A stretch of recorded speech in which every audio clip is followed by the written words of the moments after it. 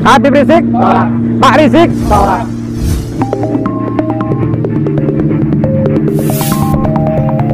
Uh, saya atas nama warga Cilongok, Kecamatan Cilongok, Kabupaten Banyumas, Jawa Tengah menolak keras atas rencana kehadiran Rizik Sihab dan kroni-kroninya. Tolak! Tolak! Merdeka! Merdeka! Merdeka! Merdeka! Saya selaku warga Cilongok menyatakan menolak dengan rencana kehadiran Rizik Sihab ke wilayah Cilongok dalam bentuk kegiatan apa pun karena kami yakin bahwa Rizik Sihab akan mempengaruhi dan memprovokasi warga Cilongok untuk hal-hal yang bisa merusak tatanan baik tatanan ke-NU-an maupun tatanan kenegaraan Republik Indonesia. Tolak! Tolak! Tolak! Tolak!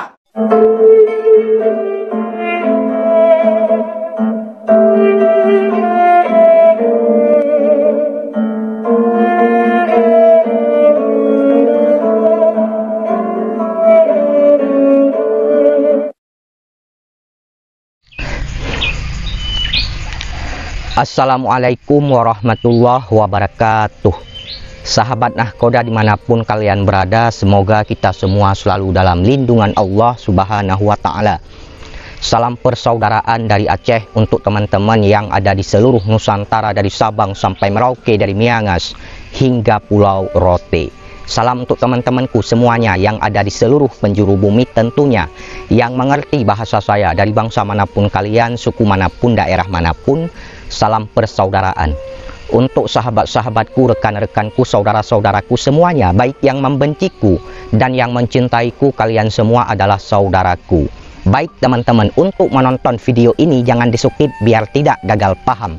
Di kesempatan kali ini, saya ingin memutarkan sebuah video-video terbaru. Jadi dalam video tersebut ada bapak-bapak yang mengatakan dirinya bahwa warga Cilongok Banyumas. Dan di situ dalam video tersebut menolak kedatangan Habib Rizik Sihab ke Cilongok ya.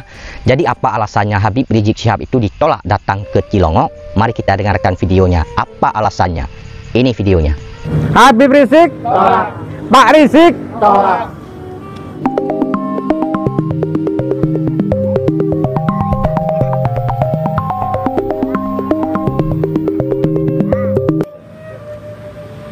Uh, Saudara-saudara sekalian, masyarakat Nusantara, di mana saja Anda berada, bahwa uh, ada rencana Habib Rizik atau Pak Rizik Sihab di wilayah Cilongok, Kabupaten Banyumas ini, yang di mana wilayah ini adalah wilayah yang aman ya, wilayah yang damai ya.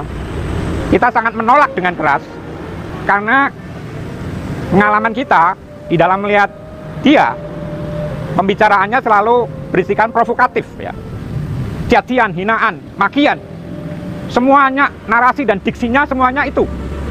Saya tidak kepengin wilayah Cilongok ini dijadikan battleground ya atau arena pertempuran antara yang pro dan yang kontra dengan Habib Rizik. Itu kita tolak dia itu untuk datang ke sini. Kita tahu semua kok. Semua pembicaraan semua yang keluar dari mulut dia mulut mulut Pak Rizik kita ingat semua. Gus Dur katanya buta mata dan buta hati. Simbol negara Pak Jokowi sebagai presiden. Simbol negara like and dislike di luar itu adalah simbol. Katanya apa? Presiden goblok. Yang ketiga apa? Menteri agamanya katanya juga sesat. Istananya istana iblis. Banyak pernyataan-pernyataan yang betul-betul tidak nusantara tidak tidak luhur tidak agung. Nah ini kita tolak semua. Apa rencana yang akan dia lakukan ke Banyumas, ke Cilongok ini, yang wilayahnya cukup damai, sentosa, itu tidak ingin diganggu oleh dia. Betul-betul saya menolak, bukan saya saja ya. Saya kira umumnya warga Cilongok menolak dengan keras kedatangan dia. Dalam rangka wawasan kebangsaan, wawasan kebangsaan itu apa? Wawasan kebangsaan adalah satu cara pandang bangsa Indonesia di dalam memandang negaranya untuk mempertahankan dari ancaman hambatan, tantangan yang berasal dari luar maupun dari dalam. Dari luar kita sepakat katakanlah tidak ada. Dari dalam ini ancaman negara kita yang akan sangat berbahaya sekali apabila dia ini melakukan kunjungan-kunjungan ke daerah-daerah yang isinya ya provokasi itu tadi. Cacian, hinaan, ya makian yang kata ba- bahasa Banyumas itu nggak sopan itulah ya. Kita tolak saudara-saudara sekalian penolakan warga Cilongo atas kedatangan Pak Rizik Sihab sangat beralasan karena eh, demi keadilan bersama ya. Eh, kemarin kiai saya, Kiai Marzuki, ya di Surabaya juga ditolak oleh PFPI. Jadi apa salah saya kalau menolak dia, Pak Rizik di Cilongo ini? Yang adil dong, harus adil. Masyarakat harus tahu bahwa ini eh, adil gitu ya.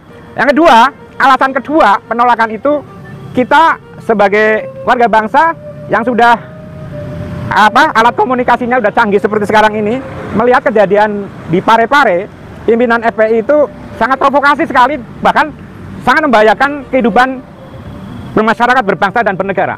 Persatuan dan kesatuan bisa, hancur seperti di Poso itu nanti. Ini ini murid Habib Rizik ini. Ini murid Pak Rizik FPI di Pare-Pare. Kita tahu semua kita tahu semua. Kita tahu semua itu barusan terjadi. Inilah yang membahayakan kita inilah yang mengkhawatirkan kita. Kalau Banyumas ini dengan da- kedatangan dia Pak Rizik akan menjadi sekali lagi menjadi arena battleground battleground arena pertempuran antara eh, yang pro dan yang setidaknya ya. Walaupun FPI sedikit sekali di sini. FPI boleh dikata sangat sangat sangat sedikit. Battleground antara yang pro dan kontra. Ini membahayakan sekali wilayah Banyumas. Tolong Bapak tentara tolong Bapak polisi ini juga perlu diwaspadai. Usul kita masyarakat Cilongo dan sekitarnya agar beliau betul-betul tidak diberi izin oleh aparat keamanan. Eh, saya atas nama warga Cilongok, Kecamatan Cilongok, Kabupaten Banyumas, Jawa Tengah, menolak keras atas rencana kehadiran Rizik Sihab dan kroni-kroninya. Tolak! Merdeka! Merdeka! Merdeka! Merdeka! Saya selaku warga Cilongok menyatakan menolak dengan rencana kehadiran Rizik Sihab ke wilayah Cilongok dalam bentuk kegiatan apa pun.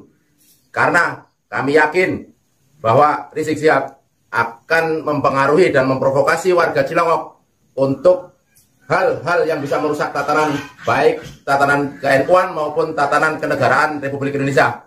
Tolak! Tolak! Tolak! Tolak! Tolak!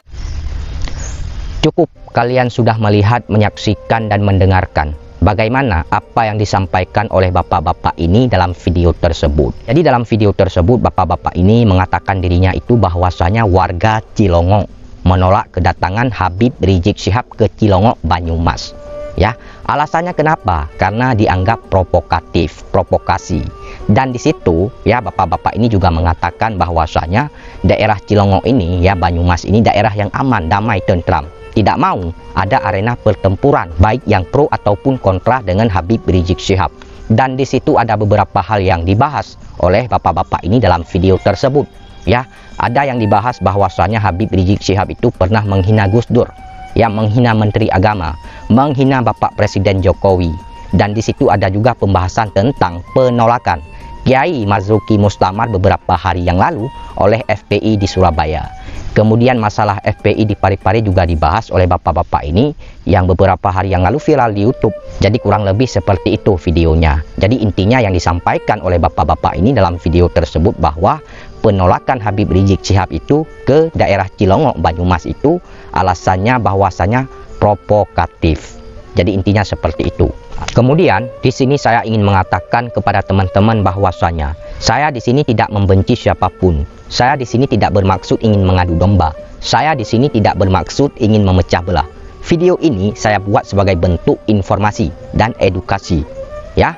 Nah, jadi seperti itu. Video ini sudah viral di YouTube. Ada beberapa channel yang menguploadnya, ya. Jadi seperti itu. Dan saya melihat ini adalah bentuk pengimbangan. Kenapa saya mengatakan seperti itu? Beberapa hari yang lalu ada penolakan Kiai Marzuki Mustamar oleh FPI di Surabaya. Dan tadi malam muncul video penolakan ya Habib Rizik Syihab video tadi. Jadi ini pengimbangan menurut saya. Ya, jadi kalau Kiai Mustamar itu ditolak oleh FPI di Surabaya, maka muncul video penolakan Habib Rizik Syihab. Bahkan dipasang spanduk dalam video tersebut tadi. Jadi seperti itu. Baik, itu saja yang ingin saya sampaikan. Bila ada kata-kata saya yang salah, mohon dimaafkan, mohon diralat. Saya juga manusia, tidak luput dari kehilafan, kesalahan, dan dosa. Terima kasih. Wassalamualaikum warahmatullahi wabarakatuh.